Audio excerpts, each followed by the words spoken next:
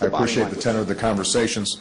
Uh, I think it will actually yield results uh, before the end of the year, and I look forward to continuing this dialogue in the months ahead.